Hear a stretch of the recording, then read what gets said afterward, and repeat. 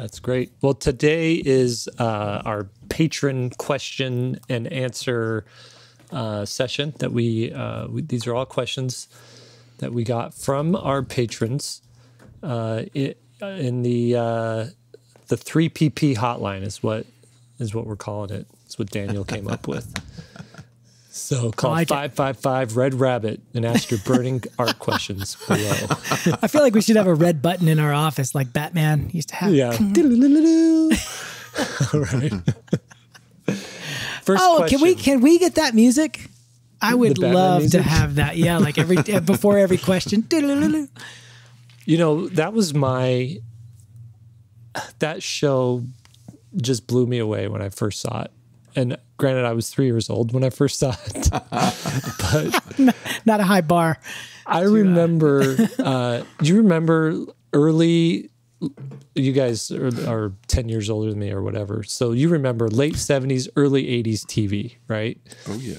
Which was black and white reruns of like Lone Ranger, Zorro, um, uh, Big Valley.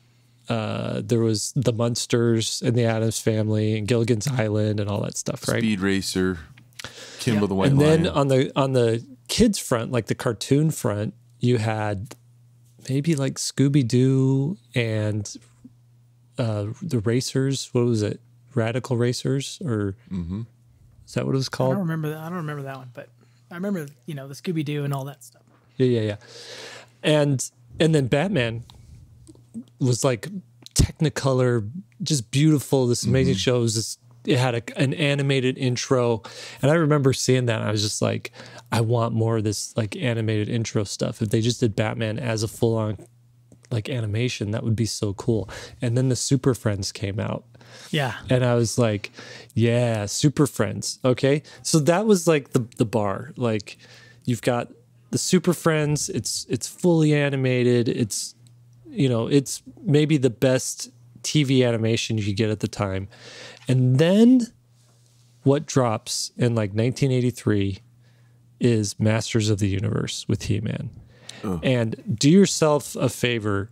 I know you guys may have been too old for that, right? Too old. You guys Oh no, I, I've been watching it recently. It's an insane show. If you haven't watched it recently, show. check it out. It's it's it's like an acid trip. I, I'm real. assuming. If it's you really- crazy. well, hold on. Let me break in. If you really want good He-Man, do the uh, the ten hour version on YouTube of the Concrete Blonde song. No. Get, let me th- point out when I, I was wa- just watching i step outside and I take a deep breath. just watching the new the He-Man He-Man again from this perspective uh, as an adult. There's one glitch that I found in it. You know, He-Man is the whole cell is the He-Man is this you know He-Man. He's like the buff guy, right? Yeah. The prob the, the problem in in the character development that I see for that show, looking at it from the artist side now, is that it does not matter who it is. Everyone is ripped. Right. Right. And so it takes down the pa- completely jacked. yeah, there's no no fat percentage there. It's like they're all mu- bodybuilders. Even the kids are ripped. Like everyone's ripped. And so it doesn't it take away some of the some of the punch sort of that He-Man has if everybody's I- jacked? It definitely does. Like like his transformation should be from scrawny kid to like Right. you know Conan, He's right? he's But- just jacked in his normal life too. Like But I think you know the what- term you're looking for is shredded. shredded, jacked. do you know what do you know what the term is in the Parker home? What? Joinked. What? Okay. So this is so what happened was um my son's been working out. He's a swimmer. He's got an amazing body because he's 17 years old and he's an athlete, right? So so minimal body fat, just sculpted form, whatever. And so he's, he's working out, right? And we were calling it um, the the term we were calling it was getting yoked, right? You've Okay. heard that one. And there's getting jacked. And my wife was like, he's like, Mom, I gotta I gotta go work out. I'll be back. She's all, all right, you go get joinked. That's Oh perfect. Oh no! That's perfect. Oh no! So She's That's what we've been full calling on it. mom status. yeah, we've been Oh, calling wow. that from That's now perfect. on. Getting joinked. Perfect. anyway, let's get to our first question. I just want to say though that He Man, if you watch the intro to Super Friends on YouTube, look up Super Friends, watch that intro, and then back to back play the intro to He Man, and tell me you don't feel like jumping on the couch and like. And just like ripping your shirt off after watching the intro to He Man. You'll be It is jacked like just the like them. music is there. There's like strobing lights. He Man literally punches you in the face at the end of it. It's it's awesome. Okay, Can, can I add one more little thing because I have Yes. been having a lot of conversations about the Super Friends lately. I don't know why.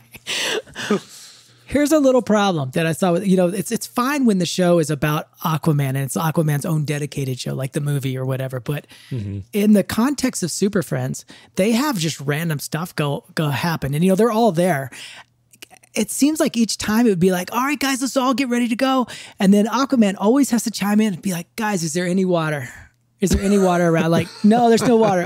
All right, I'm just gonna I'm gonna stay back on this one because he's got no power when he's not in the water. Let me know if you need a, a, a dolphin. or If there's something. any fish needs to solve this. They're like, well, there is a canal uh, that, that attaches to an estuary. If you could like swim up that canal and take it inland, Bring some snakes or something with you or something. yeah, you know, An you know eel. that ocean animal, the snake. Well, he can, he can control all water animals. It's not just ocean, right? So he can go from the Mississippi all the way down to the Gulf. So there's a lot of different, Yeah, that's true. lot true. of different, a lot of different. That would be playing- interesting. A cool uh, sh- to try to do Aquaman without water, like I'm just saying, you know when they, you know when they're all going to the thing, they're always like, man, Aquaman never really contributes as much. yeah. It's kind of slacking. All right, I was playing backyard football when that was going on. I think. Yeah, Will was living a life. Will was yoinked. That's why he's Joint? so. He he was getting joint. Is it joint or joint? Could to With it has a K in it. Joint. oh joint. Can I read this first question? no, Here we go. This is from Mimi Simon or Mimi Simone. When I was at school, I was aiming to work in an art department for an animation studio. And after graduating two years ago, I've gotten some freelance work for small studios and indie productions. Congratulations, that's pretty cool. However, after that experience, I've come to realize my passion is more in storytelling, illustration, than in designing backgrounds and props. However, I've had no success in either getting any book illustration work myself or in getting a literary, uh, a literary or illustration agent. I suspect it's because my portfolio looks too much like animation, but I'm not exactly sure what needs changing and adding to make it more publish, publishing friendly. Any advice would be greatly appreciated. You can see my portfolio here. I'm going to pull it up and share share my screen. It's great work. It's it's this. Uh, Mimi understands uh, perspective, drawing, color, everything. But I agree with her. It's it's too animation for the children's book world. It's too slick. Um, It is so stinking good. Mm-hmm. hold But- on, I gotta go there. But it's you not can a it's not children's book art. You you you roll up to this and you see Oh man, uh, this is animation visual development. like Kim Possible and so But but that's not to say it couldn't work. There couldn't be some publisher that's like, yeah, this is what we do. But I it's, it's definitely she- more commercial. I think what she needs to do is find five or ten of her favorite children's books that are mm-hmm. that are popular, like with with big publishers, like what the big publishers are looking for, and not just you know, not not not children's books that were done by animators because there's a lot of those, you know, mm-hmm. Um, but but children's books that are that she likes that are very, let's say, Caldecott friendly and take your skills into that realm of more white space, more um, texture, um, possibly gonna, more. it's gonna be hard though because somebody who's this trained. I mean, she's total total pro level animation style. Mm-hmm. Maybe, maybe, maybe that'll be actually a benefit now that I think about it. Maybe she's got the ability to be able to say, "Oh, I just need to change this, this, this," like you just said. Mm-hmm. But I don't know how It's a he. I- total I- reinvention for the children's Yeah. book world. the problem is you got to change your sensibility. It's not the drawing difficulty Right. because she can actually draw better than mm-hmm. most people. Right. I've known two really, really prolific, uh, prolific's not the right word, somewhat famous Disney artists who have I've worked with because they came to my class at, at UVU trying to undisneyfy themselves. And uh, I don't want to put their names out because I don't know if they'd want me to name them. But um, but both were very high up. One was in the Florida uh, Orlando office before they shut that down, and uh, it's been a struggle for them to to figure out how to to draw something that doesn't look like Disney because it's just it's like the way they learn to draw, you know. Yeah, it's it's ingrained in their hand. I will say this: this is uh, the folklore when I was going through school, so I'm not totally sure about this, the authenticity of this. But um, you guys know Craig Mullins, right, from Visual Development, amazing visual development artist, and he and and he um, has this real painterly style, really really artistic guy. And uh, he had gone through art center where I went to school as an industrial design major uh, and and automotive design, and he had a really slick way of drawing and all that. So it looked very uh, you know mechanical, technical, but he thought that it was too um, clean, and he was he was basically stuck in that style. And he went back to school and studied illustration for another three or four years.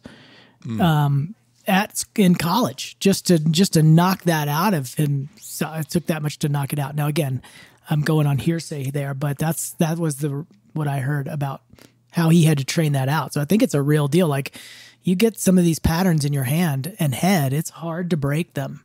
Mm-hmm. There is another way. What's the way? The other way is no one can tell you no if you're self-publishing. Boom. You know and so if you're making your own product um i have a theory that a lot of uh, the general public would actually love books illustrated in your style. In a more um, animation style.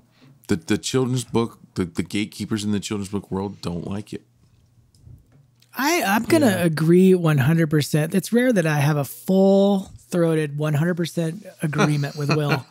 But the gatekeeper, there is a gatekeeper kind of quality to getting stuff professionally published. And I know that I've had that problem. This is an interesting thing after doing what I've done as a career because sometimes I've presented dummies and all that. Oh, it's too dark. It's too European. It's uh, too somber. I mean, th- these are, I don't have like a Looney Tunes style of drawing and painting. And, and those are the critiques that I get from these gatekeepers. Then I go to an uh, art fair and people buy the crap out of this stuff yeah they don't care. And I agree with Will that, that that if Mimi put out a book, there's not a single parent to be like, no, this is too animation. I don't like it. Yeah.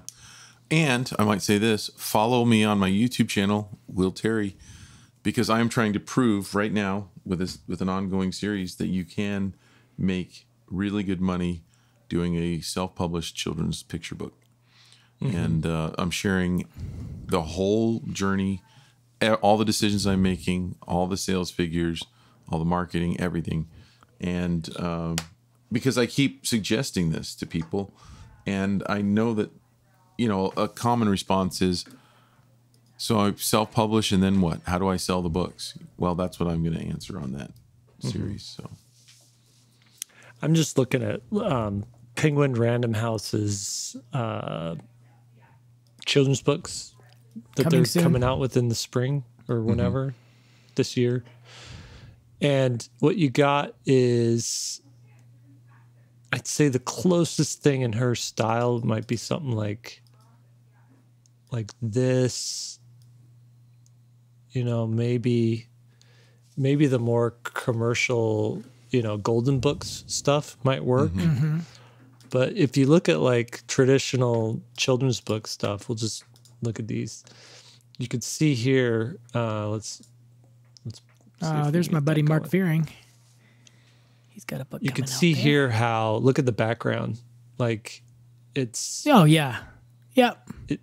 It's just wonky. The characters aren't super, you know, nailed down. I mean, this is it's all beautiful and appealing, How but you it's not that? the kind of nailed down that that she's doing here, you know. And then look at something like this. This is Mm. real lots of texture. Looks like it's been painted with uh, you know, sticks and Primitive. yeah. And I gotta like, say uh, that guy that guy has made a killing on that um the series that he did with the was it a like a bean or something? oh yeah. uh-huh. He just made a killing with that. so I mean, we're just looking at three books here, but you can you can go here and see see all the rest of them. So if you want to get work doing in your style, I think you're going to want to go more of this um, graphic novel level of of type of stuff. Um, but the the children's books they are looking for a particular style unless you're going to self-publish. But then that and there's a question later on that gets into that. So let's move on to the uh, the next the next question. Shall Oh, a we? good one. I'm glad we were able to make that point because I I just hate the idea of a gatekeeper and a style Uh-huh. that they're like, oh, we're not doing realistic anymore. So, you Mm-hmm. know, all that audience is now, or that artist group is now cut out, you know. Can't stand it. Yeah.